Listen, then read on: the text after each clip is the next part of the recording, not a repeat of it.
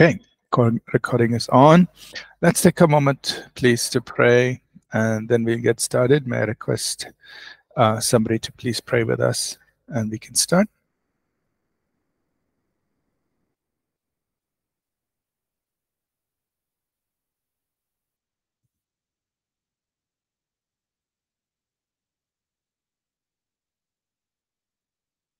Let's pray.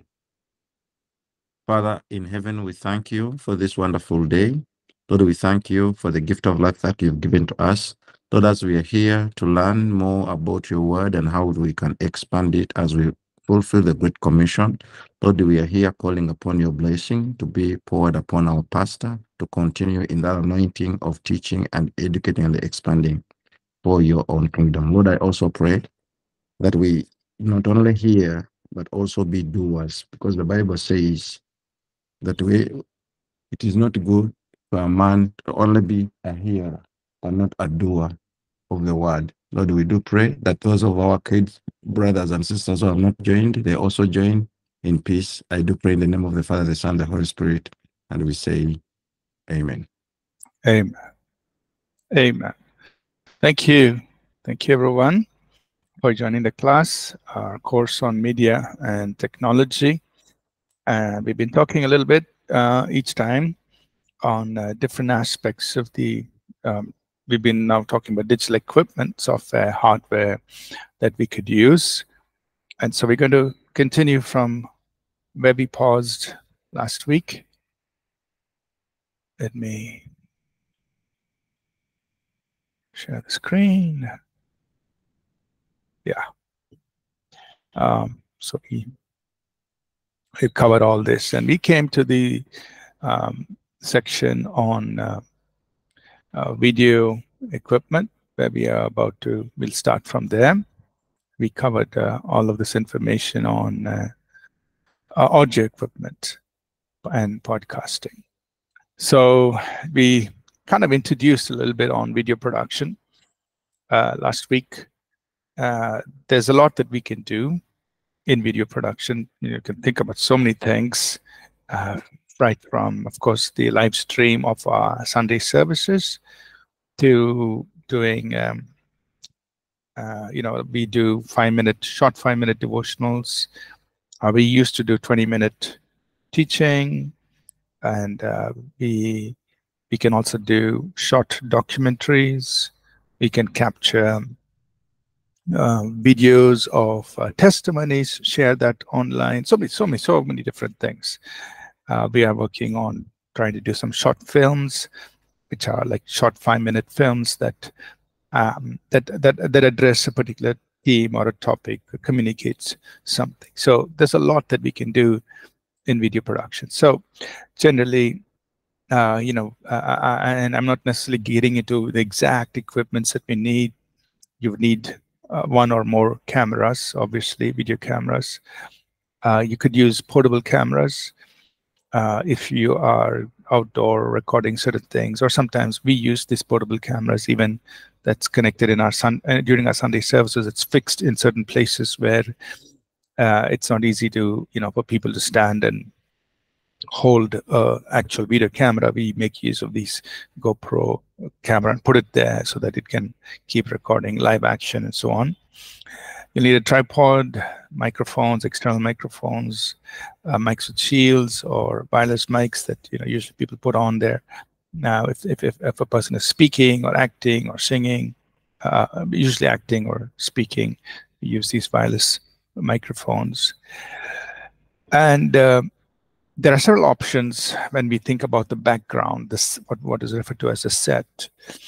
Uh, the simplest one um, is what we what's called as a green screen. So basically, it's just a green screen, literally what it is.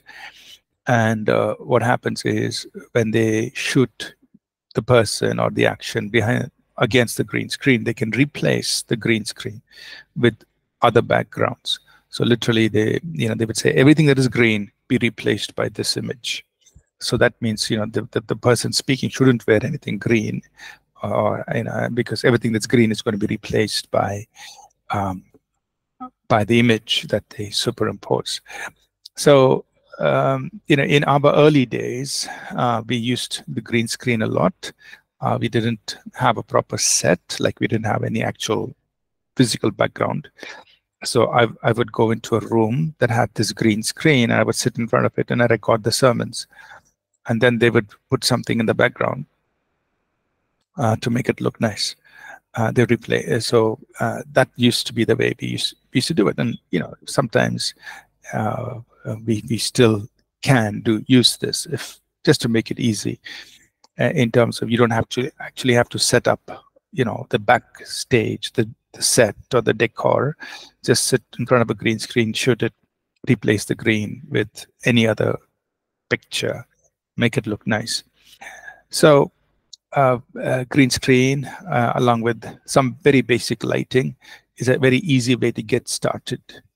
Uh, you do, so all you need is a soundproof room, a camera or a few cameras and this basic lights and you can record very nice, good video uh, programs.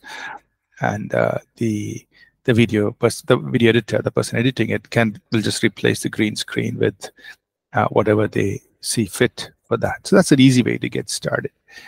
And um, in terms of lighting, you know, nowadays we have these LED lights where you can actually adjust the brightness, the warmth, even the the the the, the color lighting can be adjusted. You could have color lighting coming forth, uh, you know, different colors, so on. So uh, it, it's made made things a lot more easier. You can buy the LED lighting uh, or rent them, use them for part of it. And then there's a reflector kit that just reflects light to make sure light falls properly on the subject, on the person preaching, and so on. They're just for you to know that these are these are the kinds of things that go into uh, doing a video recording. The other things, um, like what's known as a gimbal, that's um, uh, if it's uh, if it's not on a physical tripod, there's a handheld thing that they use uh, to hold the camera straight. Uh, uh, and of course, you have you need uh, editing software, um, a decent computer, uh, and uh, you can have uh, captions that are put on your video that people can see. Um, high quality memory cards are important. Capture cards, um, uh, uh, you know. So um, this is for you to capture the live stream video, and then take it to your computer. battery. Uh, so uh, battery power, if there's no uh, wall, wall power source, you need battery power. So just some things to keep in mind if you're putting together some video equipment to do some video programs. Um, I've also shared a basic configuration here. Uh, you know, of course, depending on how much you have are willing to spend or so on, you could buy higher end uh, computers and so on. But this is something simple enough uh, for editing, uh, video editing, uh, um, uh, the the video programs. So typically you want good RAM, so you'd be on the higher end of 32 GB. That's good, at least 16 GB. But if you have 32, that's very good for the people working. You need a good, strong processor um, for more cores. That's that's good. You need a lot of storage, so uh, I've just given you uh, basic specifications. You can always do better than this uh, if you're buying a computer. Uh, high-end graphics card is important. Of course, the operating system and a good screen for them to uh, work on. Right. So these are some things to keep in mind. Uh, you know, and of course, these things will keep getting better, and I'm sure there will always be better hardware available as we go along for this. So think about this. I'm just sharing this information with you. So if you are planning to do short videos, um, um, uh, uh, other video programs, this is kind of the equipment that you need to get started. Uh, a little bit about live streaming. Live streaming has become quite common these days. Um, almost, uh, I would say many, many churches today uh, do live stream their services uh, of course, we do, you know, there are some very easy ways to do it. You through YouTube and uh, through other platforms that you could live stream. Uh, you could even have uh, something going through Zoom or Google Classroom, things like that. You could make what's happening in a particular setting available to people uh, in many other places. They can connect and watch the program. So, however you wish, um, uh, you know, you could live stream and open up what you're doing to a wider audience uh, from anywhere in the world. They can connect and listen to what is being shared uh, and so on. Uh, just to share a few things what you know we've done or we are doing. Uh, uh, when you're having live stream, it's nice to have live chat that people can respond or share their thoughts on what's happening or interact. Um, you may you know wish to have a countdown to your live stream builds a sense of anticipation okay you know the next start of five minutes ahead of the program starting time and come down to it or something like that um, also it's useful to record your live stream so that you can share that live stream recording at other times. So you know that that whole live stream is recorded and can be available to people.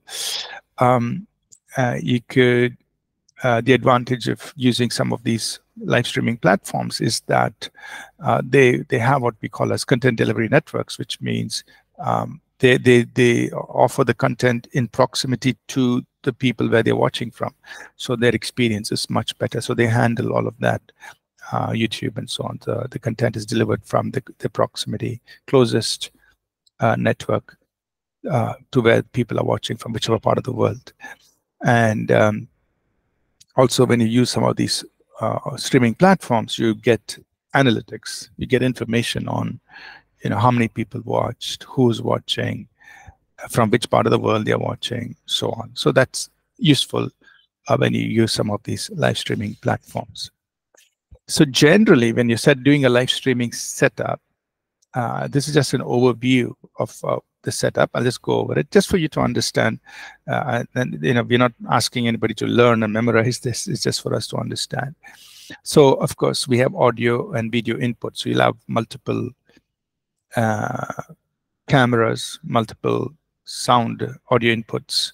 Um, they go to you know the, the regular connection. We'll, we'll look at it in the next picture, but they come to what is known as a switcher, a mixer and a switcher. Uh, so we use uh, Blackmagic Video Switcher. That means you'll have multiple cameras, and at any point you can, you know, you're showing one particular shot or something coming through one particular camera. And of course, sometimes you can mix them also and show multiple cameras on the screen. But generally, you'll switch between cameras. So that's what this Blackmagic Video Switcher does. So there's a person sit, you know, deciding which which part, which camera shot to show to the live streaming audience. Sometimes you'll also be relaying back into the uh, auditorium. So um, that also can happen. But this one is for the live streaming switcher. That goes out to what is an, called as an encoder. So that means this encoder uh, prepares the audio video content to be pushed out uh, to uh, to the internet. Now we have two options. We can do it using software or we can use doing hardware. There are pros and cons to this uh, hardware generally would be faster, uh, but it also means you need to configure your hardware. So uh, many, generally people may opt to use the software approach, and we are using a, we we have both options uh, uh, available with us, but we normally on a regular Sunday we use just use the software uh, option to encode. So basically, we have OBS software running on uh, a Mac. Uh, and so that does the encoding for us as well. Um, and then that's pushed out through a router or switch to the internet. So that goes to the internet and basically it goes to your streaming platforms. So for example, from this computer through the internet, we push it to uh, All People's Church Bangalore YouTube channel. Simultaneously, we may, uh, you know, push it to our Facebook uh, channel or, or other streaming through our website, etc. So, um, uh, so so here we actually have a server set up that does this multicasting. So we have a, a, a server. So we push it to the server, and the server does the multicasting. Now you don't need this server if you're doing only one channel. If you're just pushing it directly to YouTube and you're only using YouTube, then that's fine. You go straight from here to YouTube. But if you want to do multicasting, which is doing multiple channels at the same time, then you you, you kind of set up a server here in, in the middle uh, to do that multicasting for you. So we we have we have this server set up, which simultaneously we uh, put it out on multiple channels, and then people come to whichever channel they want, and they see it. So this is a high level uh, overview. So if you go back to um, this setup that we have, so this is mixing the audio for the auditorium, that is the in-house or front of house console. All the audio comes in here to a broadcast console, which then goes the audio and then the video goes to our uh, uh, streaming Mac that runs the OBS software.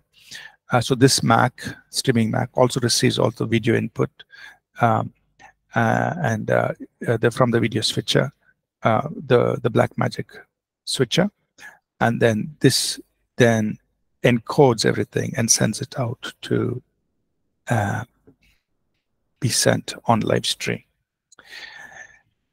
Uh, this looks a little bit more complicated, but the point of this uh, picture is that you can have multiple image so camera sources. So let's say here we have about five camera sources.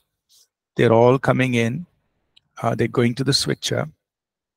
And from the switcher, uh, we're going to the, uh, where is this MacBook? Yeah, this this is the Mac.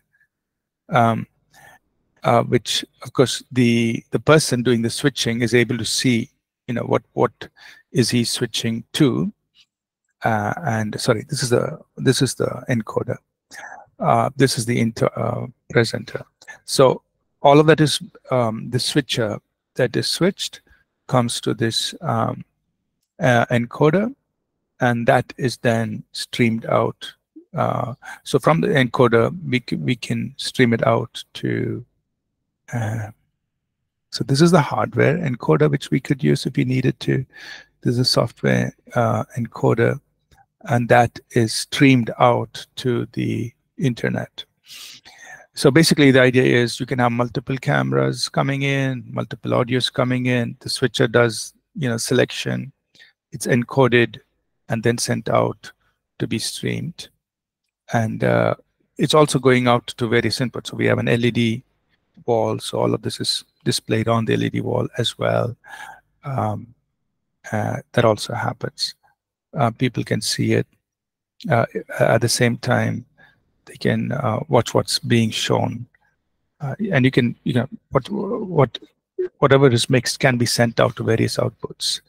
The LED wall, uh, if you have a people watching on screens, they can also see so on you don't have to memorize this, but just to get an idea that uh, you know th these are the equipments you need for a video production. So I've listed uh, a live stream production. So I've listed this here, uh, the OBS software that we use, um, the audio video switcher, uh, the encoder software, the RTMP server. This is the Nginx server that actually distributes, does multicasting uh, to various uh, so uh, outputs. So that's just available for us. Um, the so the the the point here, uh, what we do is, at, at, least what we do is, we actually hire our cameras. So on a given Sunday, we may use multiple cameras, and these are all hired. So uh, we, I, I think we have one or two of our own, but we also hire these cameras. And I've just given a costing here per Sunday. Uh, with uh, per camera, we generally uh, this is what we, it costs us in Indian rupees. Uh, the LED wall, this is what it costs us in Indian rupees. Uh, just to give you an idea uh, what's involved. Okay. Um, in addition to this, of course, nowadays people are spending uh, time and attention on the whole stage. Uh, you know, how do you set up your stage? Um, and then, uh, you know, uh, what should the background be? So for us at this present time, we just use a big LED wall at the back on the stage and that enables us to change the graphics and make the stage look good. The rest of it is all plain uh, uh, with instruments and so on. Um, but of course, you could, you know, you could do all kinds of things with LED walls on the stage. Uh, it's up to, you know, up to each local church what they are comfortable with. But I've just given some information here where you could go and see, know, get ideas of what different people are doing. Uh, and uh, uh of course, uh, there is the software uh, to control the graphics that are displayed on the LED background, as well as software for controlling the stage lighting. So this is what we use. So I've just shared that with you. So you you can use control the lighting, turn lightings on and off, dim, bright, and also control the graphic that comes up on the LED panel on the stage. So this is what happens uh, on the stage production. So if you're interested, you can explore these things further.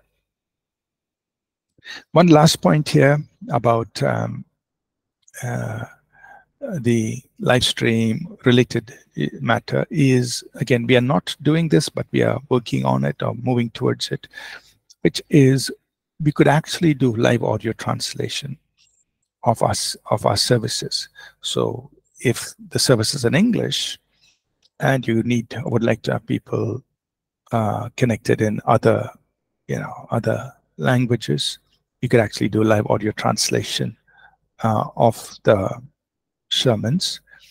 Uh, you could use live interpreters, uh, or you could even nowadays use AI-powered interpreters. Um, this live interpreters, actually, that was started way back in the 1960s, I think, mm, when uh, when the Yonggi Cho, Dr. Paul Yonggi Cho, in Seoul, Korea, he started doing that. Uh, he would have uh, you know a lot of visitors coming into his services, so they had live interpreters sitting at the back interpreting and they provided headsets and wireless headsets to people and they would actually sit and listen in their own language live. So he's kind of he was kind of a pioneer in that. Um, uh, um, and then many other churches you know started doing that. And that same live can now uh, be translated to live streaming. Uh, what is interesting is that nowadays even AI powered interpreters can uh, be used. So we're kind of looking at this solution, uh, AI powered, uh, but trying to set up our own so that we don't have to pay fees for every language we choose. So we're trying to create our own platform so that we can uh, it, uh, you know, translate in live into many languages, uh, have our own platforms and stream live into that.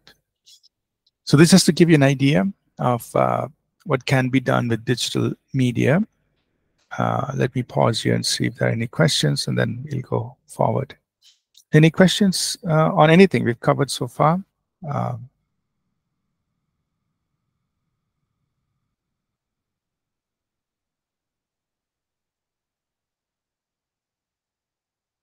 okay. So now I'm going to change subject a little bit and uh, share a few things uh, on uh, software platforms that uh, that are useful for church, right? So this is our next chapter, software platforms. So uh, it is good. It is good if if um, as a church um, you can leverage um, software platforms for, for for a lot of the work that, that that needs to be done. So I'm just sharing some of the things that we do. Uh, of course, uh, for our regular office work, you know, our, our church staff use the um, typical office products, uh, Word and email, uh, spreadsheets, and so on. So we do have both options. You could use Microsoft products or Google tools, so on. Uh, for accounting, we use uh, an, a local Indian accounting software. It's it's called Tally. Uh, uh, but you know, uh, and, and and of course, it's customized to follow Indian rules, Indian taxation rules, and other things. So that's why we use that. So, at different parts of the world, they would have different accounting software that is tailored for the um, regulations for that country. So it's good that you know, as a church, you use something that's relevant and useful. Uh, I'll just show you some, some of the, uh, actually all of these are open source products. Uh, so you could um, download and use them. So for people management, so as a church, uh, of course, you would want to manage your staff people information. Uh, for that, right now we're using an, a free open source product called Rock RMS. Mm, uh, our plan is to move away from it and build our own. So we're working on that. Um, uh, but um, for now, we are, we are using Rock RMS, and you could um, you could also consider using it. Uh, one minute, let me just uh, try to show this to you. Uh, I, I, I think I may have shared this with you in the past, but let me just try to share it with you. Share some of these things so this you get an idea uh, of um, so uh, so this is our our installation of uh, the church management system that we are using. So it's basically uh, uh, the uh, Rock RMS, that product that we've installed for ourselves. So typically we can log in uh, and uh, as soon as I log in, uh, I can see people's birthdays today. So these are the people who have birthdays today. So, you know, we could wish them. Now uh, uh, sometimes i do i log in and i do this i send them a greeting. But we have um, a, a, member care team uh, who will be who use this every day. So they log in they see all the people who are there uh, they call them wish them speak to them and so on. And then you know of course you could go into you can find look for people. Um, so if i just look for myself you know, you can search, uh, you'll find all the people in your database. Uh, so lots of people with the name Ashish here. So if I just look for myself, uh, then I can get, you know, so it, it gives me, uh, it gives my, in, my information and my family's information, right? So you can look at uh, the person's information. Uh, you can add comments to them. So when people, you know, sorry, uh, the interactions that you've had with them, uh, you can add some comment. So I can, you know, say, uh, call, uh, so I'll just say this is a test message, call and spoke with Ashish today. He is doing fine, etc., uh, etc. You know, whatever, etc. Uh, you can type a note. So you record a note right?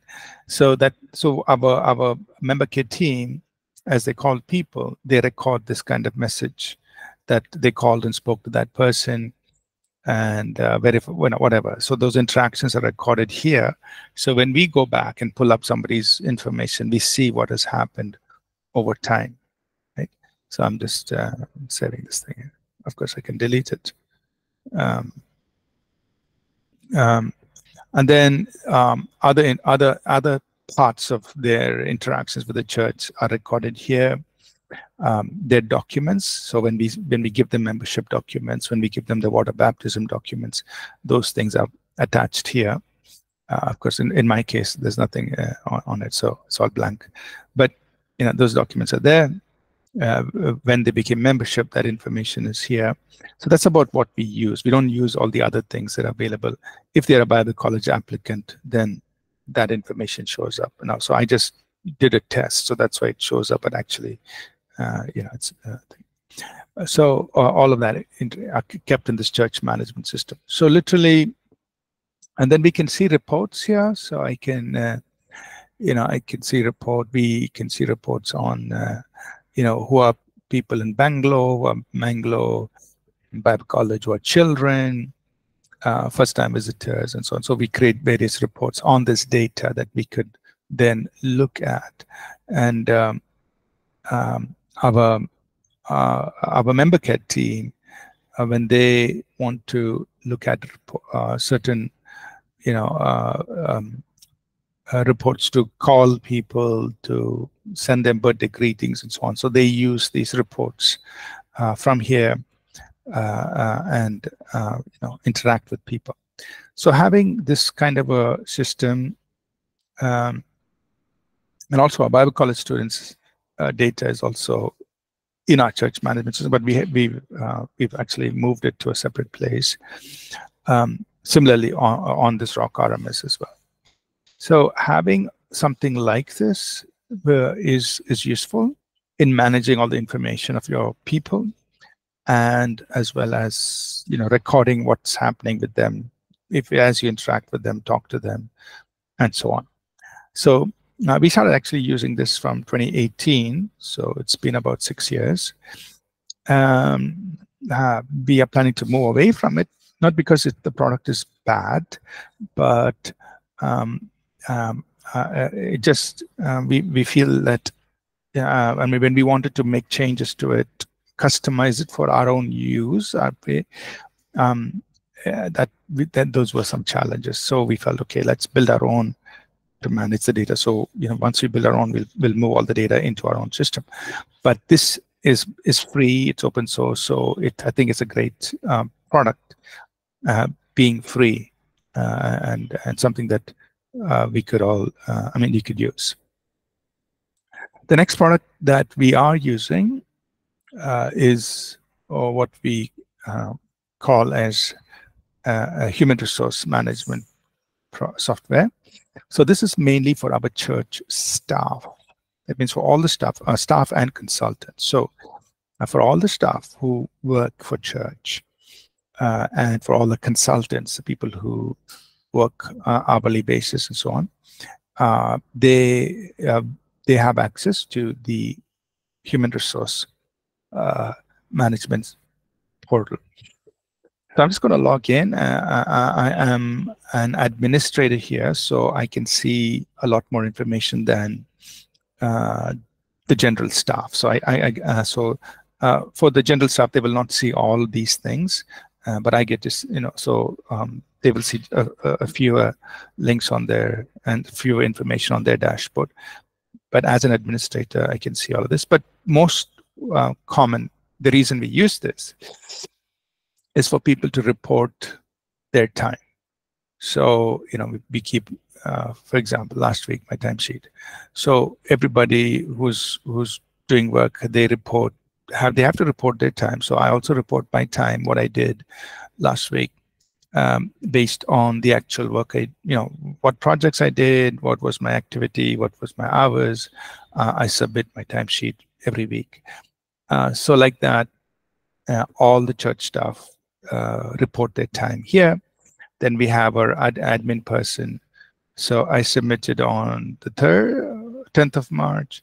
Uh, our admin person uh, will approve it or you know check it and approve it. So basically, this all our staff and all our consultants report their timesheets.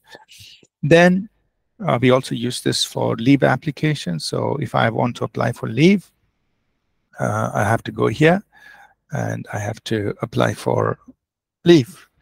Uh, sorry, apply for leave here, right? So it's all recorded here. So um, we know you know who took leave when and again it goes through an approval process our hr person will approve um, and so on. So these are two primary things that we are using this for.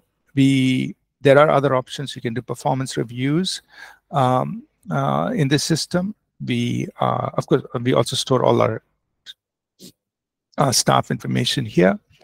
Uh, I don't want to show that but uh, we could also do performance review reviews within the system. Uh, we can also manage recruitment within the system. So we we, uh, we we were leveraging this a little bit, but we don't use it heavily these days.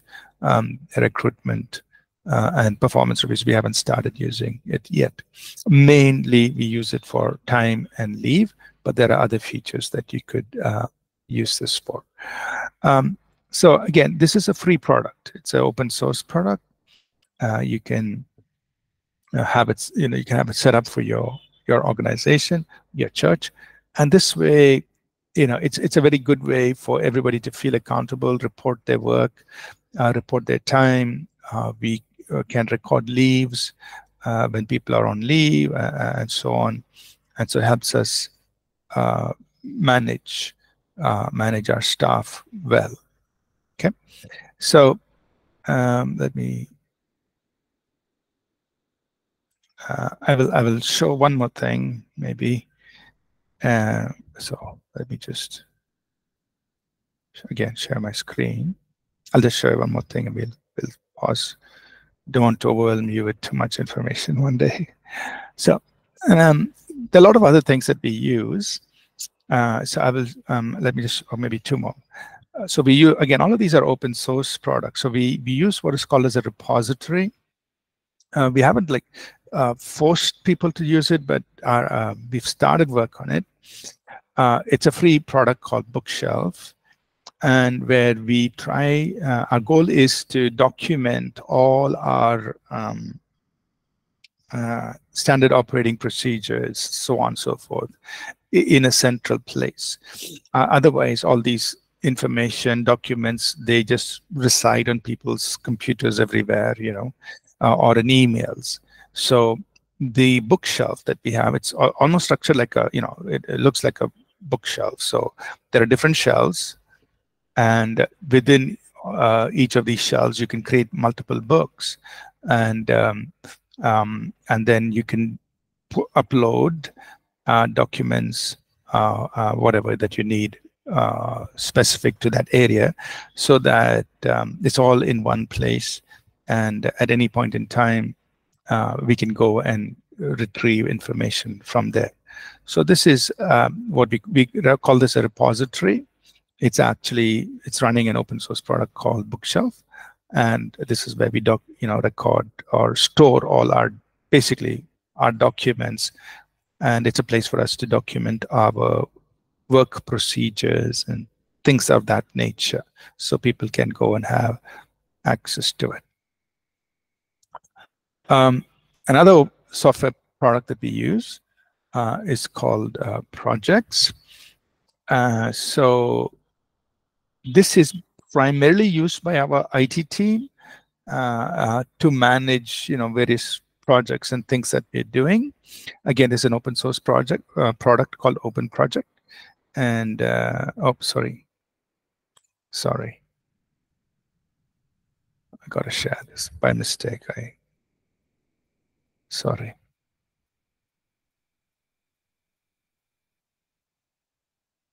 Okay. So um, we uh, we use this to manage different projects, and so for example, you know we um, we're going through a little bit of testing here on uh, um, on uh, life coaching. So we report issues and tasks here. We are also working on our church app release. A lot of work is happening right now. So um, this all tasks go here. So this is primarily used by our uh, IT team and people working on things where we, you know, uh, uh, use uh, report tasks and issues and so on. Uh, so that's another thing that we use, right? So let me see if I need to show anything else. Yeah. Let me pause here. So we, um, so we have um, talked about a different software platforms that we use um, as an organization, right? Just to help us facilitate, coordinate work. Uh, and I'm sharing this with you. I'm not saying, you know, everybody has to use all of this, um, but I'm just sharing this with you so that uh, if you're interested at any point in time, you could go and use these, any of these products. Uh, remember, uh, you know, all, uh, all, everything I've showed you today, uh, these are free open source products. So you don't, you can go download them from the links that we've shared and you can have somebody set it up for your church or your ministry and uh, you can use it okay uh, maybe i just mention a few more and then we'll stop for today Um, we so we talked about Rock RMS, we talked about Orange HRM, which is for staff management. Uh, I showed you Open Project, which is for our managing various projects. So, you know, different people who are running projects, they will set it up and manage their projects here. Um, we um, we uh, for all our church websites, uh, we use uh, a content management system called Joomla. Uh, it's a, again an open source product. So our example, our apcwo.org website, uh, our Bible College website, is all built using Joomla. Uh, so uh, it's a free product. Uh, you can download it, uh, customize it, set it up the way you want it for your website, and have it running. Uh, of course, there are other options available or other content management. So there are numerous content content free content management systems um, that you could uh, use. WordPress is again one of the major ones that people use, uh, aside from Joomla, uh, and then there are several others as well. Uh, we use Joomla simply because uh, for us we felt it was uh, most appropriate for us for our purposes, and yeah, so we've been using it for several years now. Um, we also have uh, our church app that is built. Um, now we are actually rebuilding our church app. So it will be released, you know, many of you will get an email uh, maybe in about two weeks from now about a new version of our church app being released. Uh, so this points, this was actually our old old church app, which is no longer available. We used to use uh, a service provider called Custom Church Apps. Um, uh, but this company got bought over by somebody else. And so we pulled out our church app and we decided to build it ourselves. Uh, so that work is almost ready and we're going to launch that. Uh, but the church app is very useful. People can access content right on their phones and so on. So that's something uh, that's, that's good. Okay, let me pause here. I don't want to overwhelm you today with uh, so much of information. Uh, you're all with me so far, or you got lost somewhere? I think it's okay. We are still. Okay. Yeah, I, I, don't know because uh, it's not. This is not uh, theology, but but uh, this is what is actually happening uh, in uh, behind the scenes, and you know, running running the church and coordinating things um, this is what uh, we use. Okay, so um, we we have a church app that we are building. We're working on.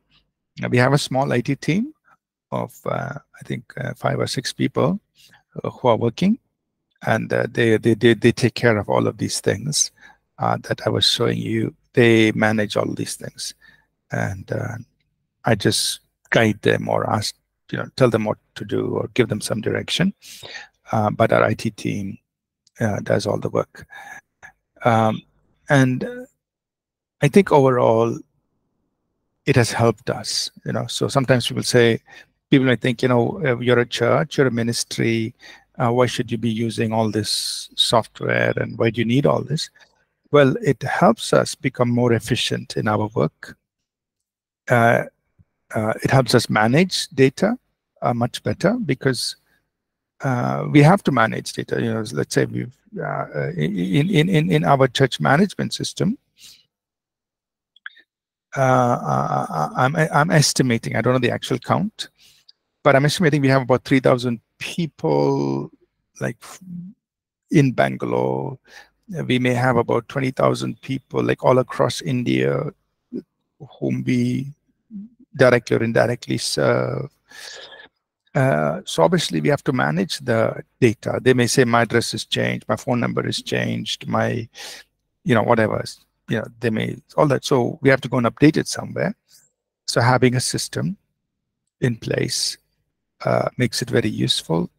People can update it, keep the data updated, and helps us reach out to all of them. Okay. Um, so let's go for a quick break and uh, we'll come back at 11 o'clock and I'll just I'll just show you a few more things uh, software platforms. Uh, uh, my goal is not to overwhelm you, but just to give you an idea that all these options are there. And if anytime as your church is growing, as your ministry is growing, you want to use any one of these things, you can go and use it. Uh, we have intentionally chosen to use open source products. You know, that means we don't pay any licenses for it. You just download it, have somebody set it up for you and use it. Uh, so any church, any organization can use the same products. Okay. So we'll come back at 11 and uh, I'll just cover a few more products and then we'll, we'll close for the day. Okay. So let's come back after the break. Thank you.